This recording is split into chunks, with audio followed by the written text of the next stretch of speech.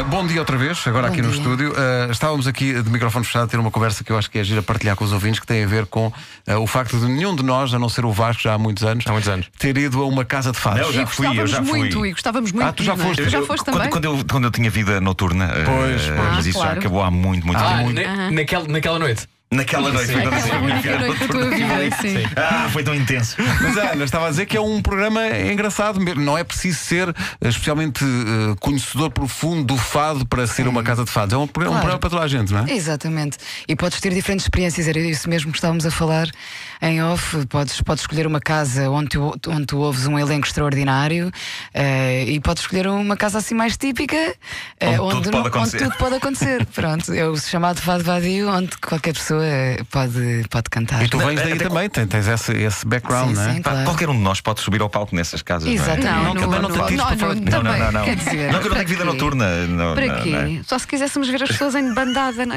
Não é que eu eu estava agora a imaginar Nuno Marco cantando fado. não, é sério. Hum, não se metam nisso. Mas é, é uma experiência que tu recomendas. E há, muito- há muitos dos grandes talentos atuais que, que, que vieram daí, não é? Sim, estávamos a falar do Senhor Vinho. O Senhor Vinho é assim um dos templos, um dos templos do Fado, eh, de onde saiu ehm, estava a dizer, o, o Zambujo, ehm, o Camané, a Marisa, a Gisela João, eu, Aldina? eh, Aldina Duarte, eh, portanto. sim. O, o Zambujo agora é só Coliseus. Só. Não, agora Uma verdadeira. Não, é emprego, é o emprego dele. é o emprego dele. Sim, Onde é que trabalha? e do Coliseu. Miguel. E é a casa da, da grande Maria da Maria Fé, da Fé, que é? é tipo a, tia, a tia e madrinha de todos os fadistas. E tu tens aqui, tens aqui um- no, no Facebook da rádio falar nessa história. de- há essa tradição de- das madrinhas e dos padrinhos do fado. É Explica-nos lá verdade. isso. Sim, hum, normalmente os fadistas, os padrinhos e as madrinhas são, são, eh, são elegidas pelo, pelo fadista Uhum. que, que adora, o fadista mais novo que adora aquele, aquele fadista e convida-o para ser, para ser madrinha ou padrinho. Tu tens muitos afilhados? Ah, olha, tenho. Tenho duas afilhadas. Ah, confesso que, ah, que uma delas ainda não ouvi ao vivo, confesso-te. Mas já és madrinha, isso é que é confiança. Pois, exatamente, sei que é confiança. Isso é que é confiança. Mas o que, o que é que implica Pois. ser madrinha? Tipo, pagas-lhes o jantar? há, um ritual. há um- És a encarregada de educação. Pois, eh, é um bocadinho isso. eh, por exemplo, há um ritual que, é, que se coloca o chile nas costas do, do, do, do fadista, o padrinho coloca o, o chile o, e, o, eh, e o apadrinhado eh, canta, ehm, e depois há sempre, eh, é como aquela relação de pa- de padrinho normal, não é? Obviamente, ehm, há- espera-se uma dedicação do padrinho. Quem é o a- teu padrinho ou a tua madrinha? Olha, a minha madrinha é a Maria da Fé e o meu padrinho o Jorge Fernando. Não está mal. Não está mal, Não é está mal. O Jorge Fernando, o protagonista do movimento Umbada Umbada Forever. Forever. É verdade, forget. aqui, veio É um aqui.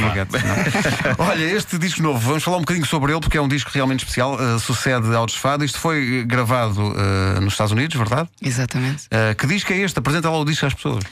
Olha, hum, este é um disco espetacular. Adquiram, É um bom começo. Se ela gosta, eu também gosto.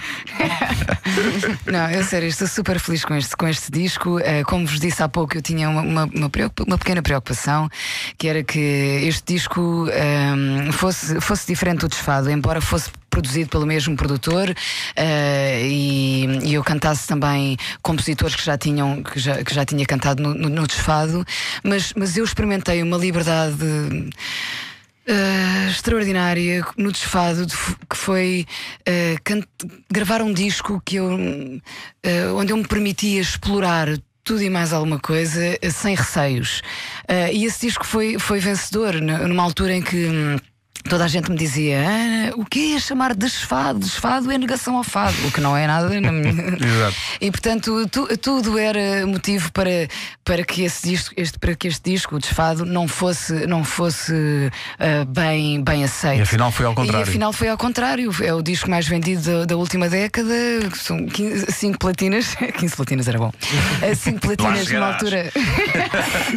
numa altura em que não se vendem discos. Não se vendem discos, exato. E É portanto incrível. estou, estou extremamente, extremamente feliz e portanto queria, queria voltar a experimentar e, e houve de facto isso. O A sensação que dá é- da- das amostras é que tu co- continuas ainda a quebrar mais barreiras de- e ao, ao ponto de ser, nós estamos a falar sobre isso, o dia de folga, Sim. tu não consegues exatamente especificar qual é que é o género musical daquilo, parece uma coisa nova. Pois, exato, mas, mas é português. Sim, Eh, sem na, dúvida. Na, na linguagem, na interpretação. eh, Uh, só que eu, é, é mais outra coisa, que não sei o que é que é e, e também não, não, não, não, me Não te apetece- interessa também pôr rótulo, não é? Exatamente, só é?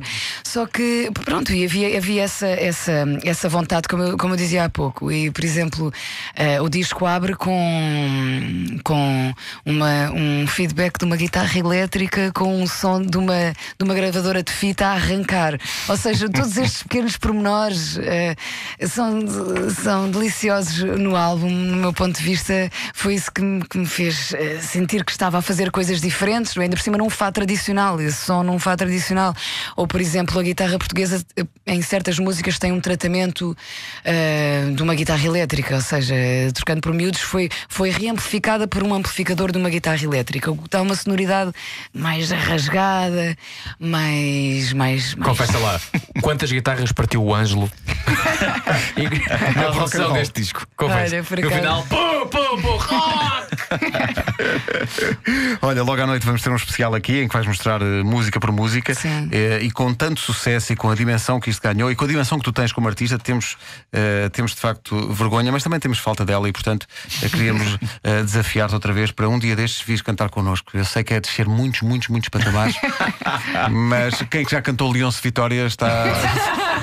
Eu às vezes é, penso nisso e digo, é pá, é assim, isso Eu, eu, sim, quando isso vejo é. isto, quando- eu, grande disco e produtores e não sei o quê, Leonce Vitória. Não, eu e tentar concentrar-me para Tu deste credibilidade ao nosso, É ao nosso espetáculo, porque até tu entrares em cena, as pessoas pensaram: epá, isto é uma fantochada. uma- vai pôr- não, vai isto pôr é o sério, carinho- atenção que isto é a sério. Vai pôr o carinho de credibilidade. Não, isso. foi muito giro, muito giro. Portanto, estás convidada para o próximo, está bem? Ana, beijinhos, muito obrigado. Muito obrigado. Logo 10 da noite, especial a Namora na Rádio Comercial.